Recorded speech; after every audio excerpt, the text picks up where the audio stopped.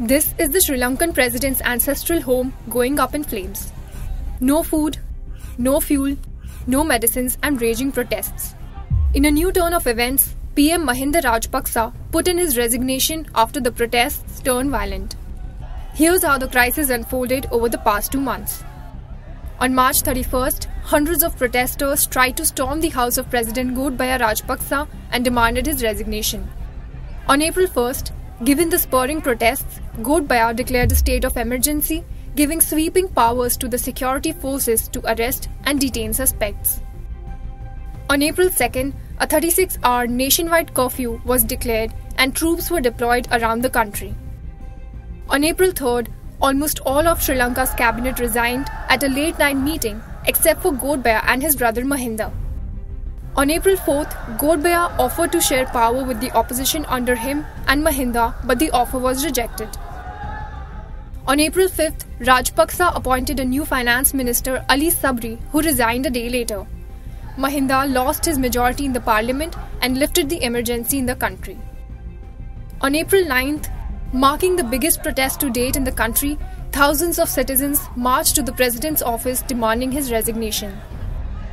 On April 10th, Sri Lanka's hospitals said that they ran out of life saving drugs and warned that crisis could kill more than even the pandemic.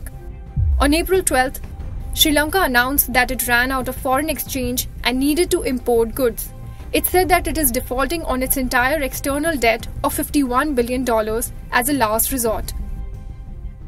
On April 18th, the president unveiled a new government that removed his two brothers and nephew but retained Mahinda as the PM. On April 19th, the police killed a protester in the anti government protests, marking the first casualty of protests.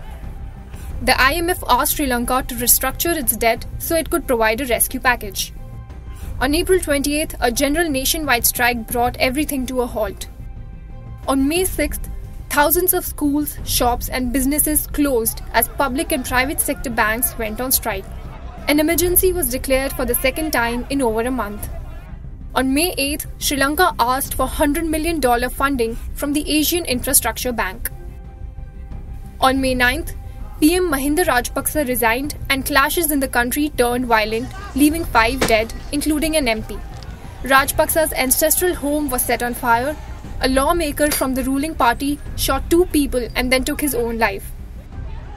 The violent riots killed five people and injured more than 200. For more informative videos like this, keep watching India Today Newsmo.